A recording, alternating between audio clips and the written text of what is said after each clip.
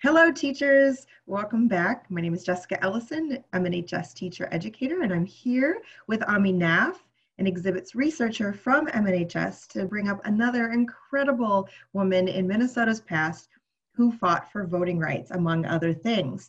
And this is one of my favorite people from Minnesota's history. And so, without further ado, I'm going to pass it over to Ami to talk about Nellie Francis. Yeah, so Nellie Francis, just like an incredible Minnesotan. She founded the Every Woman Suffrage Club in 1914, and this was the only Black woman suffrage organization in Minnesota.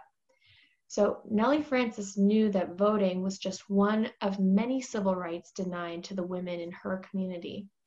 Her reach was nationwide, she chaired the press department of the National Association of Colored Women's Clubs and was active in the NAACP and the Urban League. She counted Booker T. Washington, Ida B. Wells, and other civic leaders as her friends and supporters. So she's really this huge presence on the scene. Um, Francis and other uh, ESC members attended the Minnesota Women's Suffrage Association convention in 1916. She believed that working with white suffrage organizations uh, was important, and she enlisted white women to champion the causes of Black women. This was a controversial stand that cost Francis allies because the national suffrage movement was segregated and often as a tactical move by white leadership. Racist statements and actions were commonplace, but Francis followed the path of her aunt Juno Frankie Pierce, a Nashville suffragist who employed similar techniques.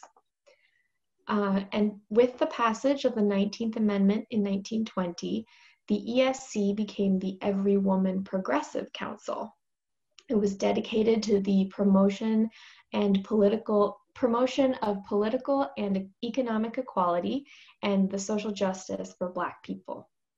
The EPC offered leadership training and celebrated the successes of local Black men and women. So even when Nellie was working so hard for women's suffrage, she never stopped speaking out about race issues. And on June 6, 1920, just months before the 19th Amendment was ratified, three African American men, Elias Clayton, Elmer Jackson, and Isaac McGee, were lynched in Duluth. Francis had traveled widely and knew that other states were passing anti lynching laws. And so that year, she started drafting one for Minnesota. And on April 21st, 1921, Francis's bill was signed into law. Wow.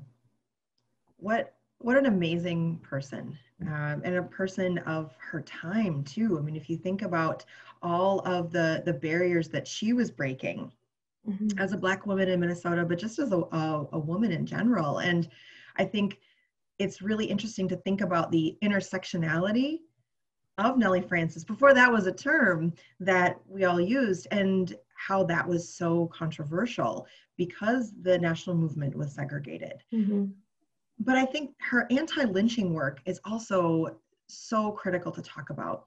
If you're talking about Ida B. Wells in classrooms, and you should because Ida B. Wells is incredible, let's also talk about Nellie Francis, who lived in St. Paul and brought the fight against lynching to the Minnesota State Capitol and yeah. was successful in 1921. Mm-hmm. And so I think it's a really great story that connects to a lot of other work that Black Americans were doing at the time.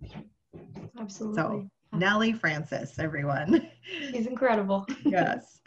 Well, thanks again for, for joining us. And if you want more information, you can visit the Votes for Women website at mnhs.org. So thank you so much. Thank you.